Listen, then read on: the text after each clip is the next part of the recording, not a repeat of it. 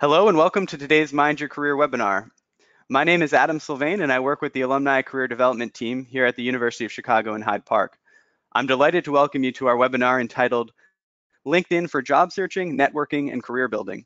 Today we'll hear from alumna Anne-Marie Segal. Anne-Marie is an executive coach who partners with board candidates, attorneys, senior executives, and other professionals to facilitate career transitions, advancement, leadership, interview preparation, resume writing, and personal branding. She is the author of two career-related books, Master the Interview, A Guide for Working Professionals, and Know Yourself, Grow Your Career, The Value Proposition Workbook. Anne-Marie is a member of the Forbes Coaches Council, writes on career and resume topics at Forbes.com, and has been quoted on CNBC.com, Monster, Above the Law, and other media outlets. She holds a JD from NYU School of Law, an MA in Art History from the University of Chicago, and a BA in Fine Arts from Loyola University of Chicago. Without further ado, it's my pleasure to cede the floor to Anne-Marie for today's presentation. Are we, am I here? Can you see me? Here I am. Great. Welcome. Thank you, everyone. Um, thank you for joining us for LinkedIn for Job Search, Networking, and Career Building. As Adam mentioned, I'm Anne-Marie Segal, and I did live in Hyde Park. My parents were actually born there. Um, now I live on the East Coast in Connecticut. And I'm, I thank you very much for joining us for this hour. Um, as I mentioned to Adam just, just before we joined the call, I'm not going to be able to make you a LinkedIn expert in an hour. My goal is twofold. One is to really help you become more comfortable with the platform, and the other is to give you insight into different ideas that may be helpful for you to start thinking about that you may not have known about LinkedIn so that you can explore them further. I do have other seminars. You can certainly visit my website. It's just my name, annemariesegal.com. Um, and I'm not going to talk more about that now. I'd like to just jump into the seminar. So if you have the handouts, um, there should be a link to all of the different handouts. I believe there are four. Is that right, Adam? Um, there are actually five, yep, and those handouts can be accessed from the, the handouts tab on the control panel. Great, and so we can go through different parts of those handouts at various times. There is an article, 15 ways to boost your LinkedIn profile. That's a good place to start, um, especially if you're not even on LinkedIn. They're, they're good things to think about, but also I notice one of the things that happens with LinkedIn is we spend time focused on a certain area, and I'll talk about this further, and we don't necessarily think about all the different ways that, that you can maximize or leverage LinkedIn. So that's really what we're here to do today. So LinkedIn, just a bit about it. It's it's the most powerful online tool. I'm I'm assuming most of us know that.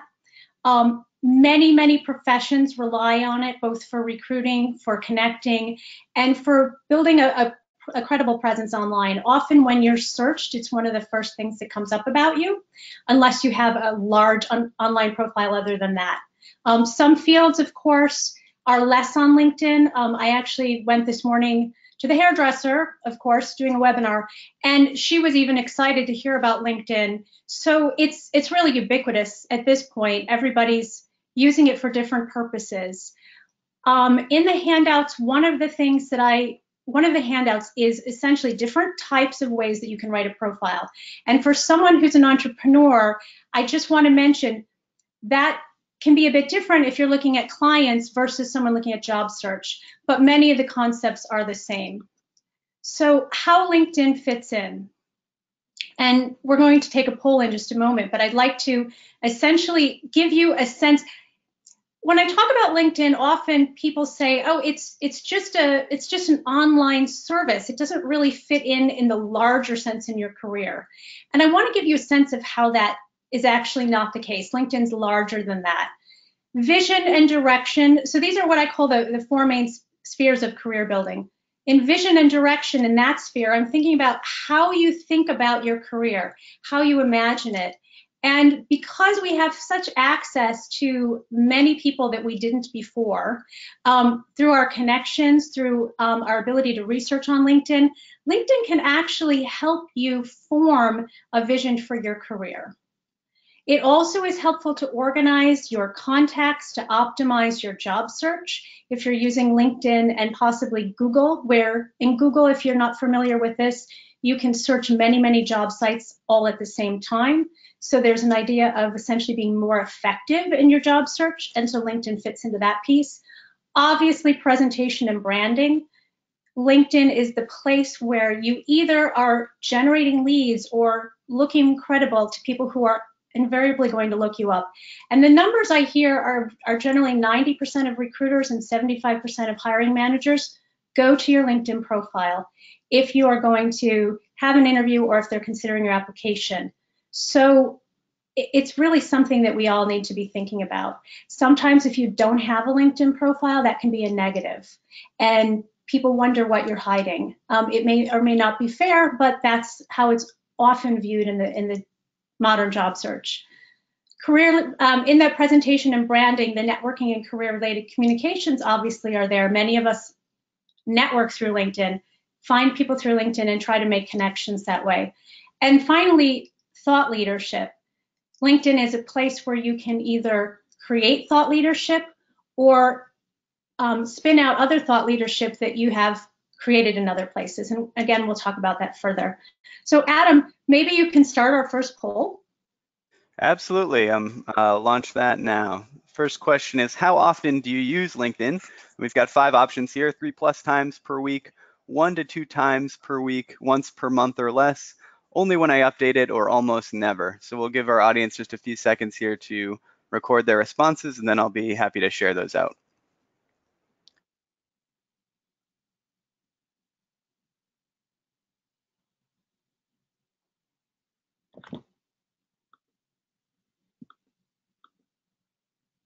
All right, looks like we have most of our responses in. We'll just give it a couple more seconds for the last few on the call to to offer their responses, and then I'll I'll share those with our audience. Great. So I'll I'll ask you again when I finish with this slide, so we don't um, take time on that. Why LinkedIn matters and, and again, here I wanted to give you a kind of an overview of all the things that happen through LinkedIn. Recruiting and job search tool, obviously. Um, there's ATS and, and um, we'll talk about that further. Lead generation and credibility, as I mentioned, really getting a, your presence out there online and making sure that people know who you are and why why they should care is how I usually say it either why should I hire you or why should I connect with you? Why, why, how do you fit into my life essentially? Um, it, it, can be a platform used for research, networkings, and then as a Rolodex. And I want to make a, a note about that. In the LinkedIn terms of service, they can shut down your account at any time. So if you are using LinkedIn as a Rolodex, and I know I date myself with that term, but if you're using it to keep up with your contacts, you can actually download all of your contacts. You can also download your profile, and I suggest you do both of those from time to time because you can be suspended. It has happened um, for various reasons to different people I know. Um, and so you want to make sure that you have access to your data. So go ahead, Adam. What's our result on the first poll? Sure. Um, yeah, so we had 45% of our respondents said that they um, are using LinkedIn three plus times per week. Uh, the second most, 26%, said one to two times per week. 12% uh, once per month or less. 9% only when I update it, and 8% almost never. Got it. Okay, so many people in this seminar, uh, webinar, are actually using LinkedIn a lot. Um, so I, I'm glad to know that, and I'll definitely speak to that. And then I do see there's a 8% a significant minority that are almost never on it. So we want to think about that as well and how um, how their what their LinkedIn strategy should be. Maybe it will even come up in the questions at the end. So, and here's some more data, and and I wanted to present some important points that we get from this data. You know, it's not just oh how impressive. There's 590 million users. The number of active users in the U.S. and in general is very high. Um, the decision makers strikes me as well. 11 million of the 40 million decision makers, so people in hiring roles and you know hiring whether they're your client or in a job search, 11 million millennials.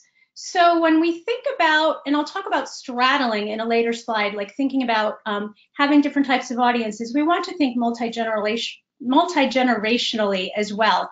Regardless of what your generation is, that you're appealing to a wider audience. Um, Adam, we had a couple more, we had one more poll here, am I right?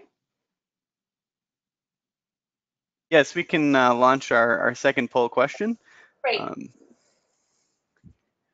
all right, and that uh, next question is, what is your current job search status?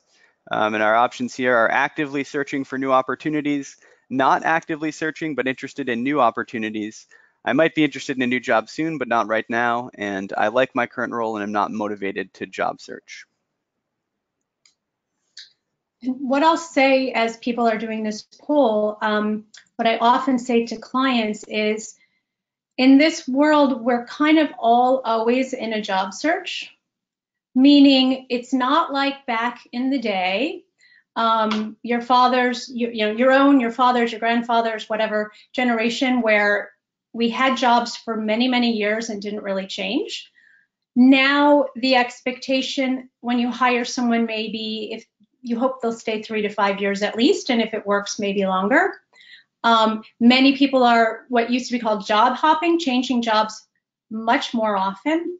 So obviously this question is really, are you currently looking in, in an active way or are you kind of open to it? But I want to suggest at this point and, and later in the presentation as you're thinking through it, even if you don't consider yourself in a current job search, and it, I know it takes a lot of energy, but think of how you can actually always be not always on, but always be ready. So kind of always know where you are and, and what your value is so that at any moment the right opportunity comes up, you're ready for that. Do we have um do we have some results yet? Yep, I can share those results now.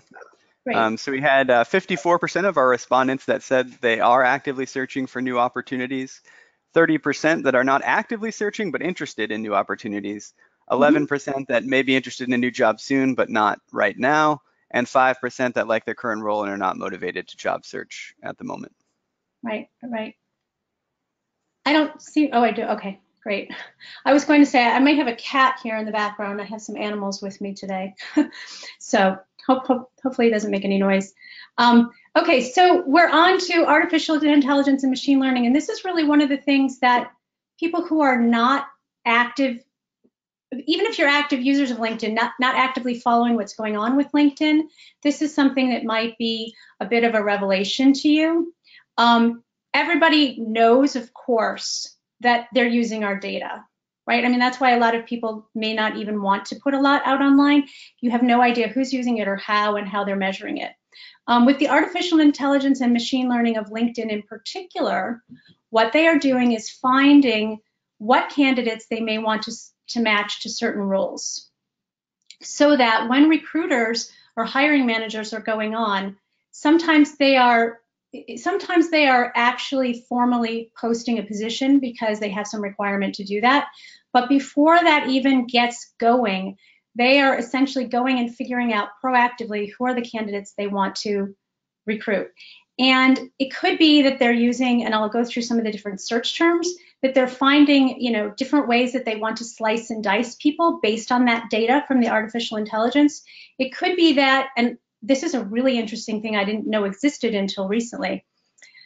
They can find a profile that they like and they can set a search that they want to find other people who look like that profile, if you can imagine. So that's that's how much um, evolved this artificial intelligence and machine learning has has come on. If you're not familiar with the concept of machine learning, essentially that's like the, com the computer getting smarter or the algorithm getting smarter, more, more importantly. And so when you are active on LinkedIn, the different types of activity that you have, LinkedIn is tracking it. And so you can say you're interested in one area, but if all your searches are in another area that, that conflicts essentially with your profile, then it kind of messes with the algorithm in the sense that you're not giving it consistent information. So if you are looking to match to a certain type of role, it's helpful to have activity on LinkedIn, um, which is one of the reasons to do your job searches there, um, but also to have kind of everything match and line up. I know that's hard to do if you have various interests, but think about the concept at least so that you can um, try to apply it to the extent you can. I'm trying to go to the next slide here. Let's see. There we go. Um, and so want ads that want you, a continuation of that. Open candidates, which I'll give you some details about, is a powerful feature on LinkedIn. If this is something you're not familiar with, I suggest you really learn about it. Um, it's something that it's called a green light. Essentially, it's the way they think about it, that you're open to a job um, you're open to changing. You can put it on, sort of put your green light on in different ways. Here, let me go to this slide just to talk about it for a moment. Um, so, so um, we go, where is it on here? Let recruiters know you're open. And then you have different levels where you can say essentially that you're act, it's kind of like our first poll, right? You're actively looking or you're um, just kind of open to new opportunities. And so e even if you are open to new opportunities, it doesn't mean that you're necessarily ready to leave your current employer. And I talk about this subtlety with clients all the time. There is the possibility that your current employer, especially if they have different affiliates, and some of those are in the recruiting industry or just kind of have this software and they can look for you, because it doesn't share it with your current company, but it shares it with an affiliate possibly under a different name if they have a different subscription. So there's that way and other ways that someone might find out that you're in a job search. You can still use open candidates. You just want to dial it back and not necessarily be saying that you know you're out there and ready to move right away, but at least you have that quote green light on. And then if I go back to here, that's where the candidate spotlights come in. These are ways that recruiters can set their searches. So is does this candidate, you know, or I'm looking for candidates who, and maybe with other search criteria, are open, are likely to respond based on that AI and ML, um, artificial intelligence, machine learning. They have connections at the company because it's assumed that you're more likely to be a fit, you're more likely to know people, um, you're more likely to come if you have connections at the company, if they do try to recruit you. Um, if you're engaged with their brand, essentially you're liking things they post or um, going on their pages, things like that. That's the machine learning. And if they can search by past applicants. So someone who showed continued interest in the same company, they might decide that that's a. And so they want to search people in that way.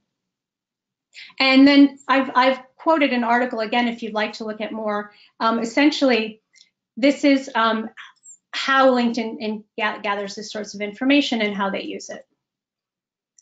It also, another change that LinkedIn is making, and they're still in the process of doing that, but they've made a lot of progress, is something called Recruiter System Connect.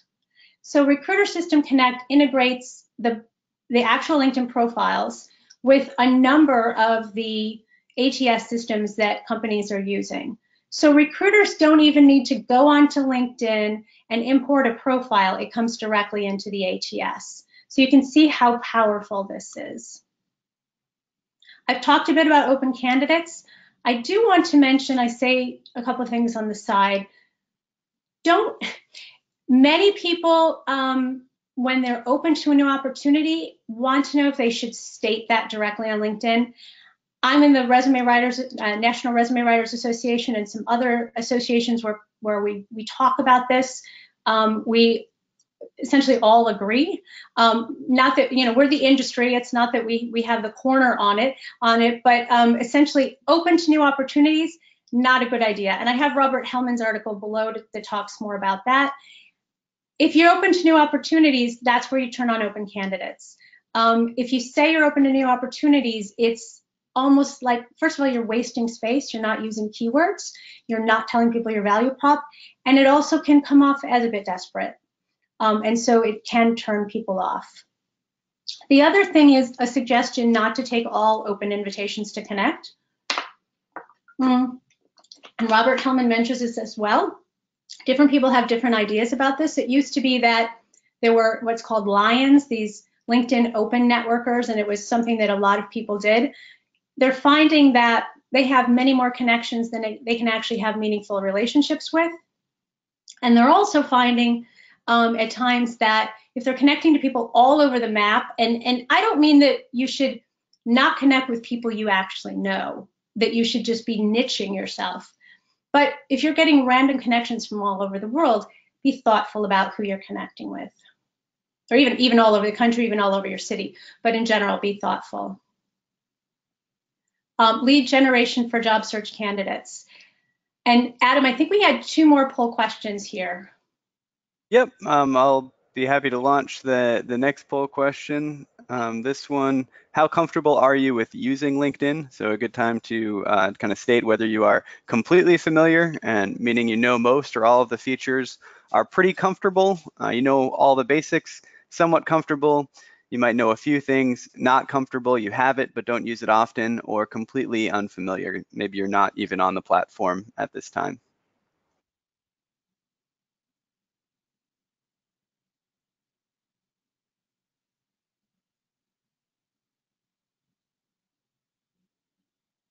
Looks like we've got most of our uh, responses in, so I'll be closing the poll in just a moment here and can share out those results.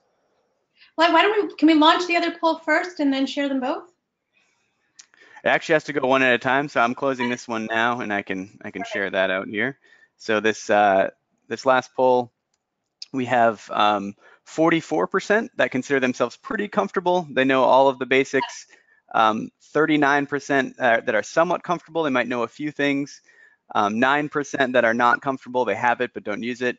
Um, mm-hmm. and then 6% that would say they're they're completely familiar, know most or all of the features, and then just 1% that that would say they're completely unfamiliar.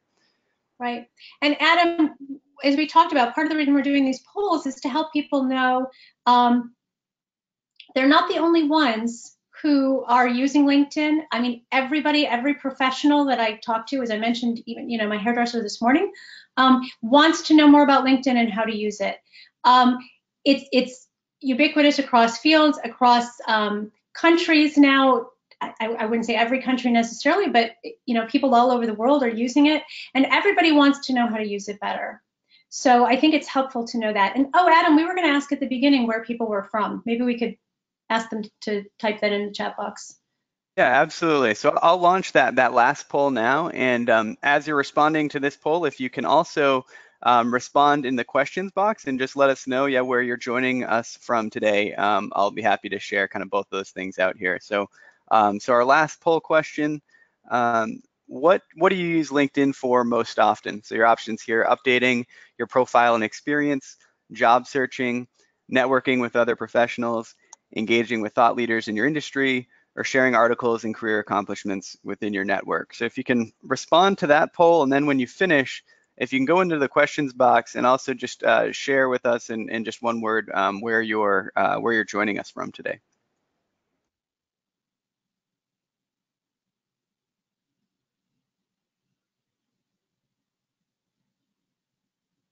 All right, so I, do have a few people that have, have uh, told us where they're joining. So we've got um, New York City, um, Chicago, Massachusetts, um, Greenwich, Connecticut, Washington, D.C., the Bay Area, um, Columbus, Ohio, Denver, uh, all represented, Michigan, um, Texas, LA. So lots of uh, lots of variety in, in where folks are joining us from today. So great, great to see that.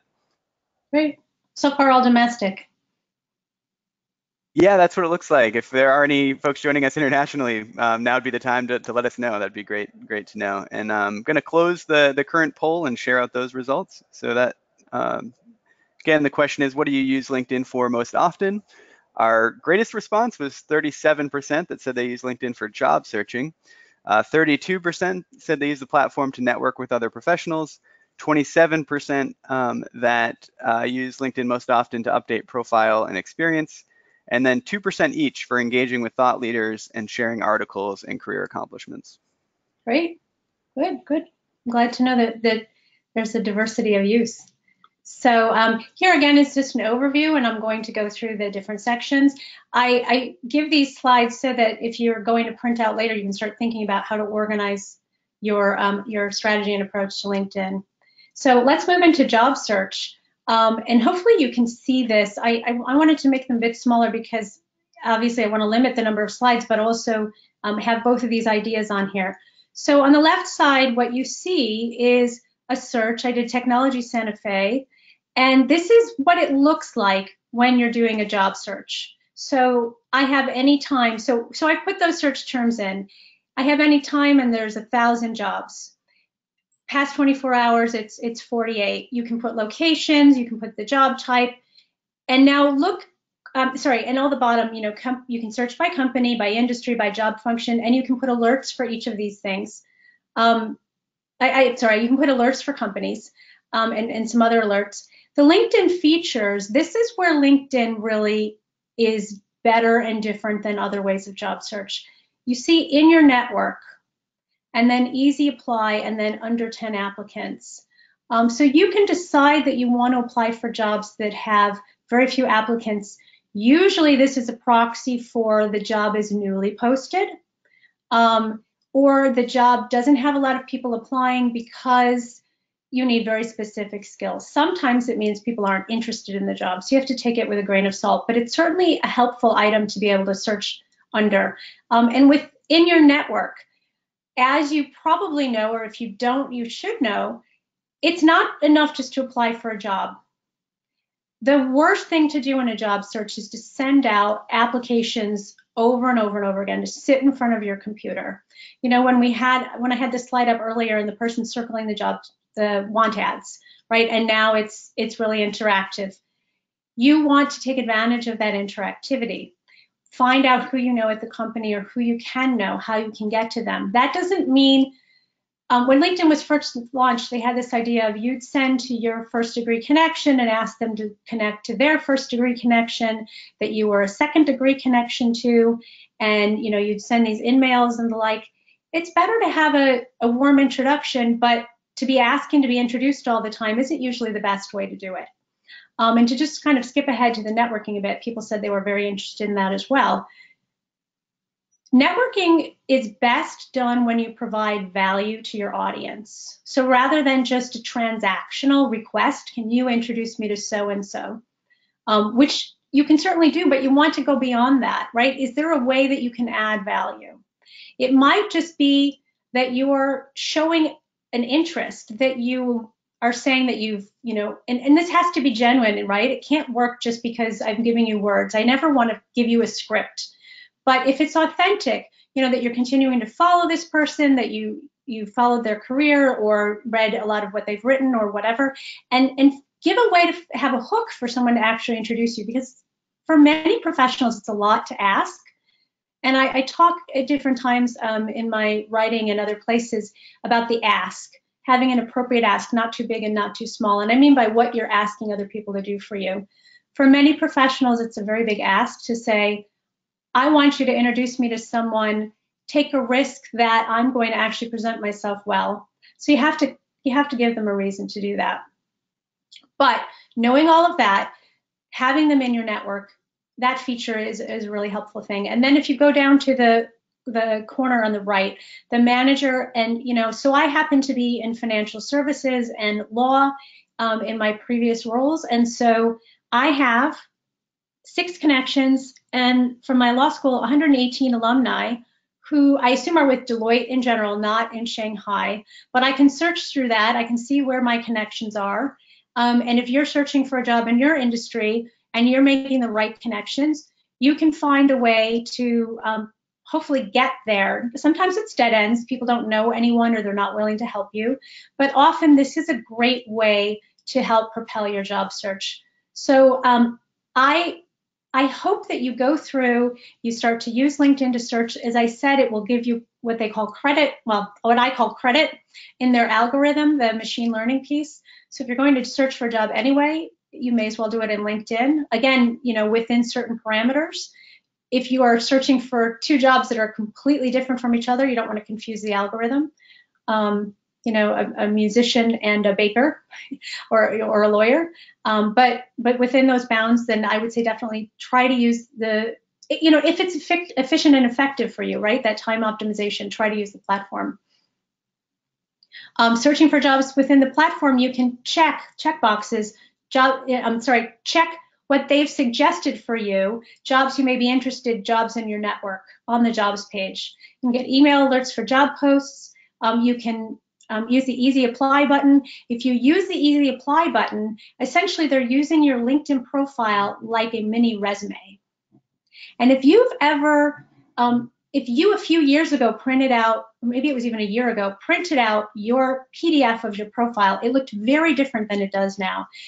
Since Microsoft bought LinkedIn, you may have noticed it's doing many, many changes. And one of the changes they're doing is they're trying to make it look more like a resume. Um, and so if you apply through Easy Apply, you want to make sure not that your profile looks like a resume, but that you have all that relevant information that you would have on a resume so that they can actually see that you are, um, are the right applicant. Um, featured applicants on LinkedIn Premium, I put to be discussed here because there's a, there's a lot to say about it. Um, LinkedIn really pushes LinkedIn Premium. I don't want to say that it's not um, worth it. For some people, it really is. What it gives you is a lot more information or transparency about the application process. Um, for example, I had one candidate who has a foreign law degree and she realized that she wasn't getting credit for the law degree because it didn't say JD. And so she had to come up with how to account for that on her LinkedIn profile or think about whether she wanted to. Um, it shows you where you are in ranking to other applicants. Um, it also, they say, boosts you towards the top of the list so that when someone's looking for you, uh, sorry, when someone's doing a search, you know, if 100 candidates come out, you're, you know, seven instead of whatever other number. And they don't release the, the data on that, of course. Um, but that's another way that LinkedIn Premium is, is sold as a package of, of why you might want it. Um, there's also the idea that if you're on LinkedIn Premium, if a recruiter is looking, they might, it, it again might be a signal that you're more open to job search. Not necessarily, and um, you know, it's it's just another piece in the in the puzzle, if you will. Um, network building connections and posts, we, will talk about this in other slides, but essentially that's all part of your job search and you should think about it as part of your job search. Researching companies and connections. So here's again a way to find your connections. You can go straight to the company page. This is Uber, and if you see on the right, um, I have you know people I know who are hired here. I can see all the employees at LinkedIn. Um, so for example, if I click on all employees, it will sort for me. Generally, it sorts by your first degree connections and then your second degree connections and then your third degree connections if you have connections at the company. So it's a really useful way to see who you know there. Um, on the right, I've searched for University of Chicago, and here's our own Adam Sylvain, who came up as the first hit. Um, and so if you put in the name of a company, so on the left, I, I, actually put in the name of the company and looked for um, companies. On the right, I looked, I clicked the people, um, and then I can easily just see who is actually there. This is a slide, um, just a really quick, quick point about how your profile is viewed across different devices. So as you see on the left in the middle, very little of your summary comes through at the beginning. And you want to make sure that whatever people need to know about you, they don't have to click see more or load more because they probably won't unless they're interested in, in what's up at the beginning. Also, you want to think about how the banner, if you decide to use a banner, those are the, the books here with the black background. Um, if you have a banner, how it might look. So to look at your profile on different devices, see how that looks. Recruiter's view. So I was just talking about the view when people see you. This is what recruiters may see when they're looking. So they did a, in, in this, um, and this is straight from LinkedIn. I, I just did a, uh, what's it called, a screenshot of their page. This is an example of what they might see. So they, they did a search with um, different job titles, uh, locations, skills, companies, schools attended, possibly. Um, got 15,000 uh, 15, candidates. And then you see the open team opportunities. Past applicants have company connections. There can be others. Um, and then this is what they see about you. They see your picture. So it's very important to have a picture. If not, you know, you, you just may not be as interested. It's sorry, it's interesting to the audience. Um, they see your name, they see your job title, um, where you are currently, etc. This is what they might see, which is very different, obviously, than this. So I want you to be thinking again, about the, the different ways you can slice and dice LinkedIn, and, and other people are as well. I have a handout on this, um, so I won't talk about it too much more, but I, I wanted to encourage you to think about the different pieces that go into your profile.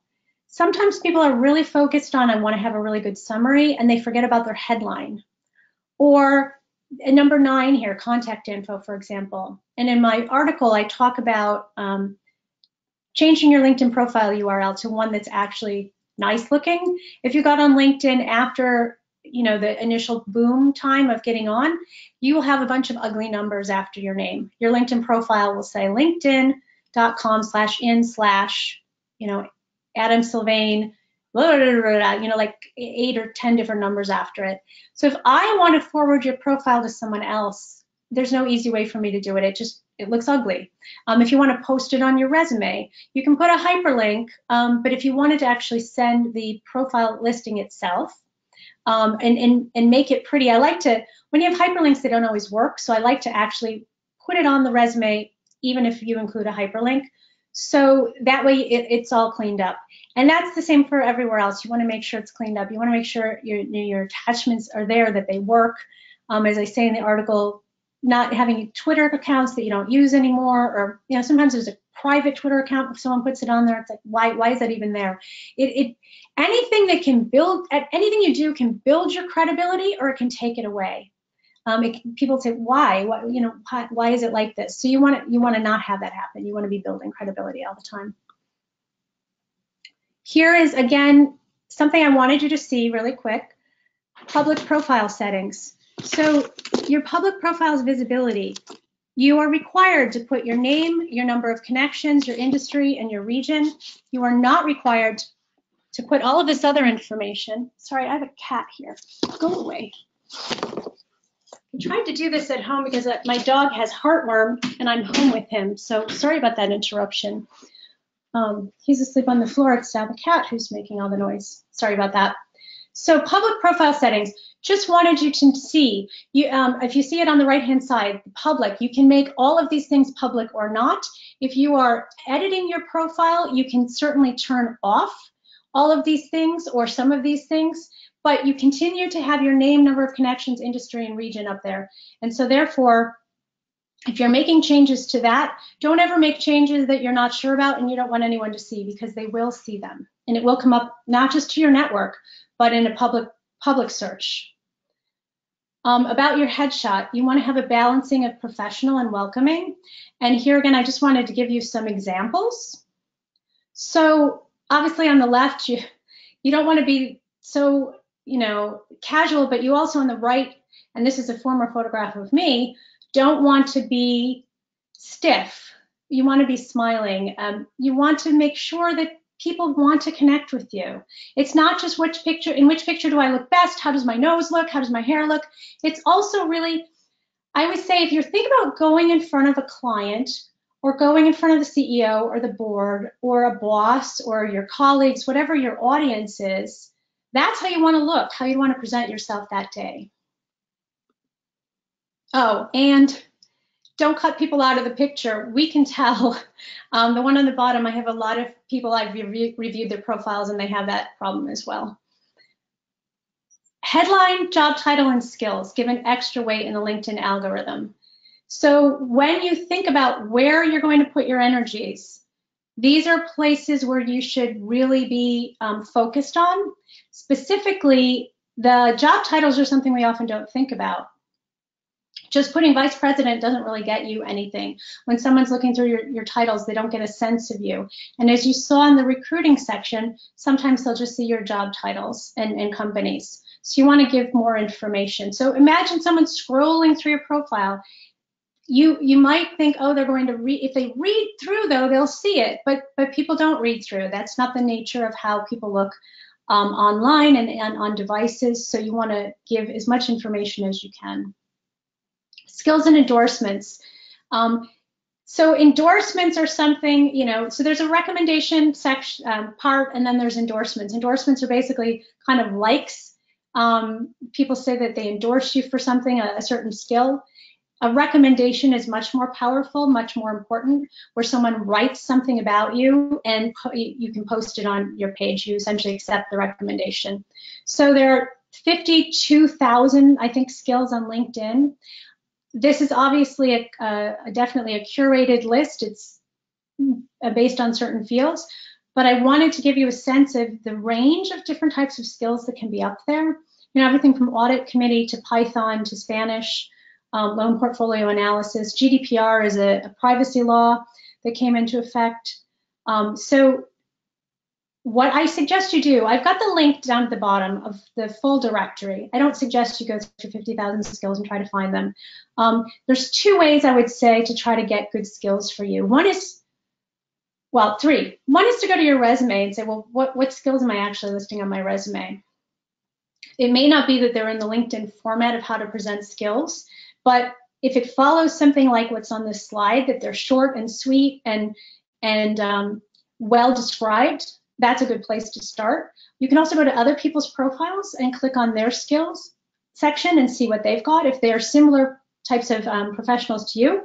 And in addition, if you do go into the directory and you start to learn how to navigate it a bit, there's a kind of a trick to it.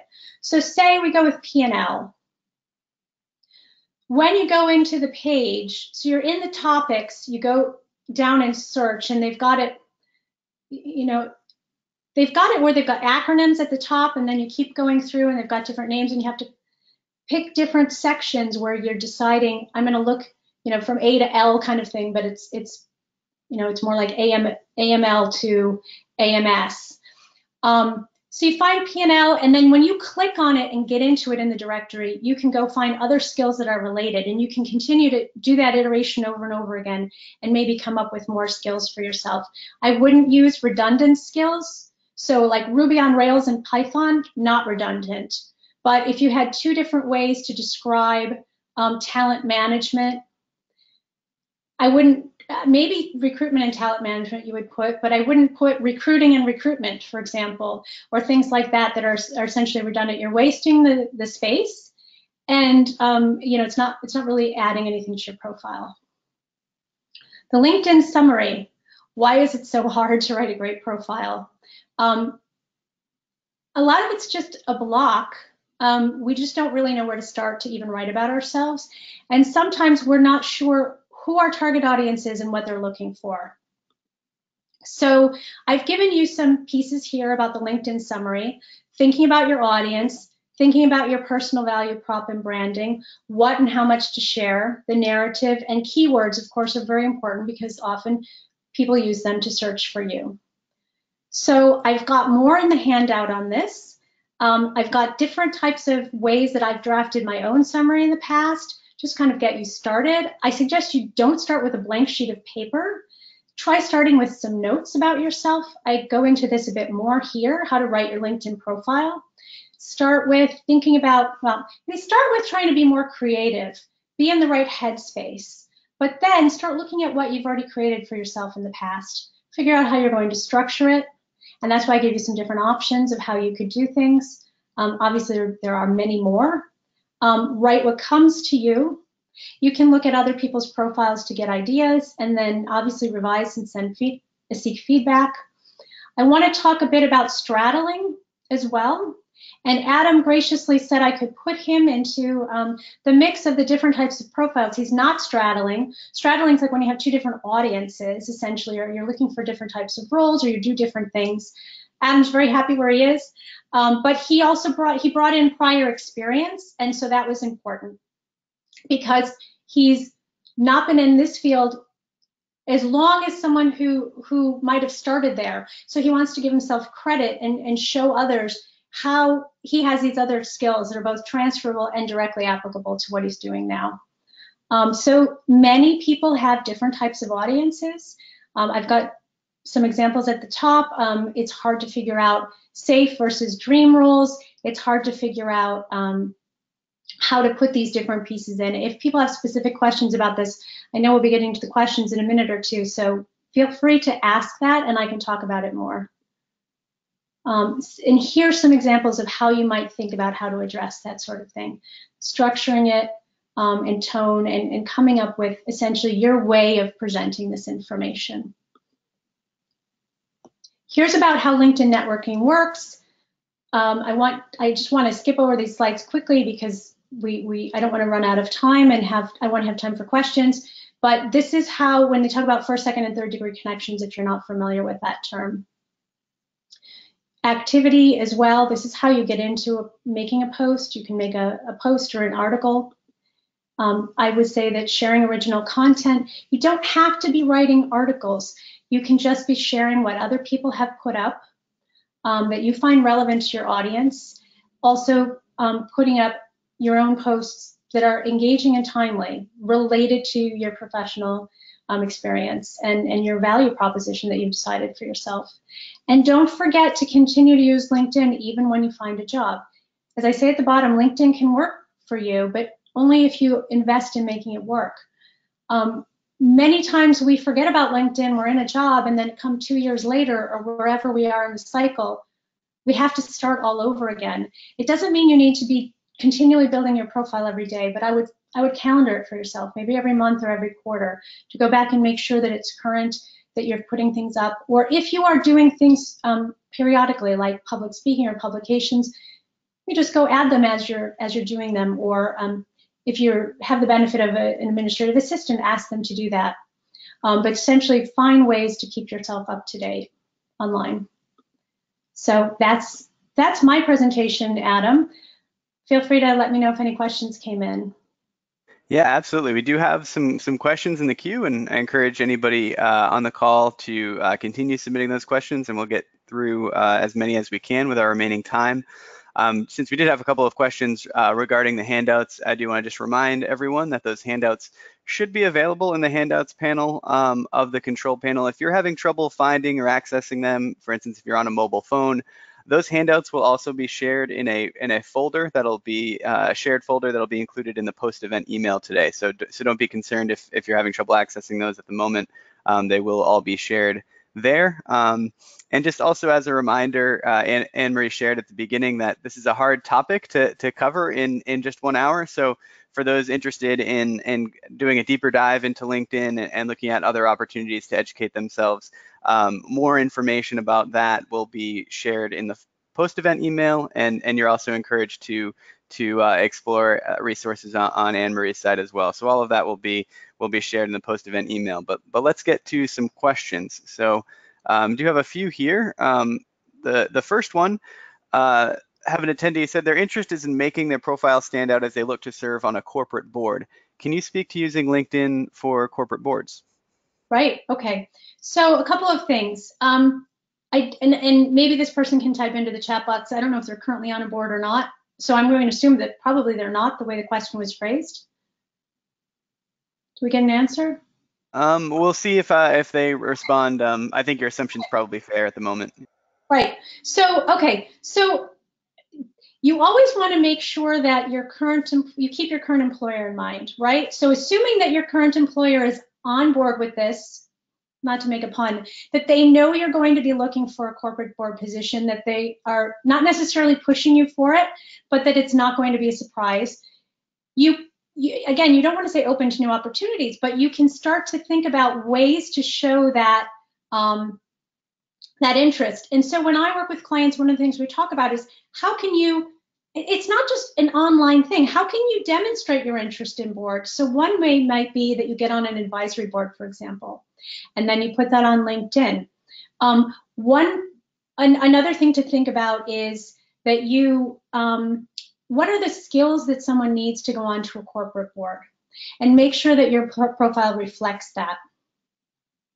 In addition, you might say that you are um, you might say that you're open to board positions as well, but you want to be careful how you phrase it um, so that you don't look. If you're a very if you're very robust in your executive role, that would be fine to put that you're open to board positions. I wouldn't put it. Um, that's the straddling piece. I wouldn't put it um, front and center. I would put it somewhere towards the bottom. Um, but but essentially finding ways both um, explicitly and implicitly to show that you're a match for boards. Great. I will share that the the that um, audience member did share that they are on advisory boards already, um, so they do have some board experience. Great. So I would put that both in um, either the organization section um, or put maybe some of the board positions as an actual role if you can group them together or individually depending on you know how many roles you have on your profile and you can put some reference to it a sentence in your summary Great. Um, next question: Is there a way to get metrics on what people look at or click on in your profile so that they so that you can optimize uh, the wording? What people look at, meaning different sections in the profile. I don't think you can get metrics on that. You can see who is looking at your profile, and I believe with the premium account there are ways to see um, essentially what search terms people are using. So there is that. Um, this is a question, a lot of questions that people have, one of the best ways to find the answers is to go to LinkedIn Help. Um, I'm sorry, to get to LinkedIn Help. And what you what you can do now, because Google is um, so so well integrated, is to essentially put whatever your question is in and put the word LinkedIn, and often LinkedIn Help will come in first. So this type of question I would probably direct to that. Um, I, I, don't think that the actual answer is that they, you can figure out, you know, is spending more time at the top or bottom or in looking at certain roles or that sort of thing. I, I don't think there's that level of transparency. Great, thank you. Um, uh, so uh, another question, this one uh, gets at something that might be other people may have encountered as well. So, so within a few weeks of, of the, at the beginning of the month, they're getting a note that they've reached a limit. I think this is a, a limit on on maybe new new connections or viewing uh, profiles, and that this person doesn't understand how or why this is happening. Can you speak to this? Um, getting a note from LinkedIn that you've reached a, a limit, a search limit, um, and and how to navigate that. It's probably the commercial use limit is my assumption. And essentially, and, and it's, it would be odd if it came at the beginning of every month, but it may be that it seems like it's then, or, you know, maybe something that I'm, I'm just not aware of all the details. But if you are doing a lot of searches on people, so um, you've decided that you want to look for, you know, you want to network with people in tech in San Francisco, um, in, you know, some some iteration of that, or even just that broad but you're starting to look at more and more profiles, doing searches, clicking in and seeing people, or just you know pulling up pages and pages and pages of candidates. LinkedIn, as much as it's useful as a free tool, is really designed to um, at some point hook you into spending money. I'm not saying you should do that, but they do have these commercial use limits. And at some point, if you do too many searches, you get close to that and then they cut you off and, and won't let you search. So I assume that's what's going on. Great, thank you. Um, we have a few people that, that are asking for clarification around um, whether it is wise to attach a, a, PDF of your resume to your profile. Can you speak more to that? Good question. I, I would say absolutely not. I, I would not attach a resume to my profile. Um, quickly, some of the reasons are there are people are going to steal your information. Um, you shouldn't have your home address on your resume anyway but you certainly shouldn't have it on LinkedIn. Um, you also may not want your phone number on LinkedIn. Um, you, when you send your resume out, will probably target it to different audiences. If you put it on LinkedIn, you're only having one resume there. And so you don't want to have that, um, lose that inability to have your resume look different for different contexts. If you come to an interview and you have a different resume than the one you had posted on LinkedIn, um, it's it's again going to have some put some uncertainty possibly at well oh they, they emphasize these certain skills but now there's these other skills i realize that linkedin itself um, doesn't allow you to have different views for different audiences however you are not bound by two pages or as for a junior person maybe one page like you are with a resume you can put so much more information and the summary section is very unique it's 2000 characters max which is much more than a summary section you would likely have in a resume. So you can be multifaceted in a way that you can't with the resume posted. Great. Um, as a as a follow up to that, what would be some good things to because you do have that option to attach uh, mm-hmm. files to your profile. Um, what would be some better uses of that function if if you do suggest taking advantage of that? Um, you could put if certainly if you have been interviewed by the media, if you've been um, in a publication um, or, or, written a publication, as long as it's recent enough or relevant to what you're doing now. Um, if you um, have some kind of a project that you want to put up there, and again, you have to make sure that think about the audience. They've never seen it before. I've looked at people's profiles where they have something up and you know, it not only is it dated, but it's a school project or something, which is great in some ways, but I can't tell what it is or why I should care. Um, so you want to make sure you use that standard always. Um, sometimes people put a link to the website if they are featured on a company website. You have to be careful with links because, um, for one thing, if you change jobs, you want to make sure to, to change that because the, the link won't be active anymore. But also sometimes people um, share information, I'm sorry, change websites and, and you don't know it so that you, you want to run through it every once in a while and make sure it's still current. There's one other time where you might really want to use it. I have a candidate, for example, who was from the Midwest and now he's in the Southeast and um, he's looking for a job back in the Midwest. And he happens to be a big sports fan, and he was, you know, put on the news with his kids um, with a sport sporting event, and he put that up as an attachment to kind of show a bit more his engagement with um, the place where he's from. So that's another way to use it. Great. I think we have maybe time for for two more questions, and and there are several um, attendees who are interested in this uh, kind of straddling concept. And um, so, you have one question that uh, what would be your advice on writing your header or summary if you currently have one job in the energy sector, but you want to switch sectors um, to mm -hmm. education, uh, kind of without upsetting your current employer, so being being aware of, of the optics of that. Um, any advice there? Right, right. And so that's part of why I, I attach this attorneys your LinkedIn headline in 120 characters or less. Obviously, many people on the call are not attorneys, but if you go through it, you can see a lot of different options. And one of them, you know, we have attorney novelist, for example, um, which is is different. So I bring this up because a novelist or, you know, a writer isn't incompatible with your current job, where education and energy probably isn't compatible, right? Because it probably means you'd have to leave your current role in order to do it. So the first thing you want to think about is, is there a way to express it so that it's not incompatible, that it looks like an extension of what you're doing? Um, and, and I don't know what you do in your job, if you do training, if you do presentations or that sort of thing, probably even then it wouldn't rise to the level of putting it in your headline, but you could find a way to mention education in your summary section Again, not at the top, somewhere, you know, two thirds or three quarters of the way down. Um, and it doesn't have to be the very last bit. Um, you can sum up again with something in energy, but to be using those keywords so that you're found. Um, if you are on a board that is related to education, if you're doing some kind of volunteer work that's related to education, for example. Also, if you're getting certifications in the new field, you, you could probably put those in as well, and then put a description so you get some more keywords, and that's probably how I'd approach it. Great. Um, we have a last question, which may be relevant again to, to several members on the call. But if if uh, somebody is not currently employed, uh, what do you advise them to say or to include in their headline or, or keyword section? Right. Okay. And that's that's referenced in the article as well, but I'll speak to that um, here. So if you are a project manager, if you are an engineer, um, if you are a teacher, whatever you are, you are still that even if you're unemployed. And so there's no reason that you can't put that on your profile.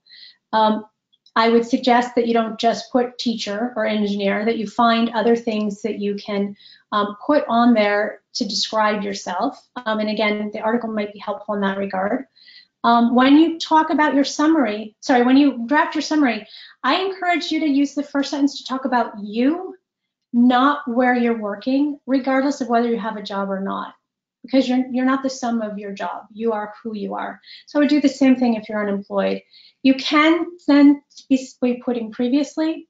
Previously, I was with such and such place. Obviously, not was, try to use a better verb, um, but talking about it that way. So you don't have a loss of identity and you still have value to add whether or not you're employed and you want recruiters to see you that way. And then you might also find a way, and, and this is tricky and there's a lot of subtlety here, but to find a way to have a current position because sometimes people want to search for someone who's currently employed. And if you have a placeholder there that's more a bit more than a fig leaf, but has something, you know, and, and thinking about your individual situation, that also might be a helpful piece to add. Great. Well, thank you so much, um, Anne Marie, and thank you to everyone for, for attending today's webinar. A reminder, um, Anne Marie mentioned several times during the presentation and in her responses that there are several handouts. Uh, if you have not had a chance to, to download those um, from within the GoToWebinar platform, again, I'll make sure that those are shared in the post-event email. Um, so thank you again, Anne Marie, for sharing this wealth of information on LinkedIn and, and how to leverage uh, that platform effectively. I want to remind everyone that our, our programming continues on Monday, March 25th at 12 p.m. Uh, we're going to be hosting a UChicago Connect alumni LinkedIn review. So this is a great kind of follow-up to today's webinar.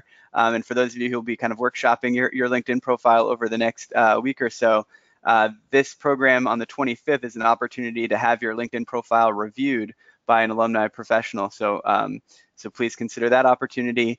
And then on Wednesday, March 27th, we'll host a webinar titled Intellectual Property for Non-Lawyers, IP Strategy to Improve ROI and Maximize Profits. Understanding intellectual property has far-reaching consequences for professionals in a wide variety of industries, so I encourage you to consider joining us for that webinar as well. And please visit our events page at careers.uchicagoalumni.org for the most up-to-date schedule of events. Take care, everyone, and, and have a great rest of your day. Thank you.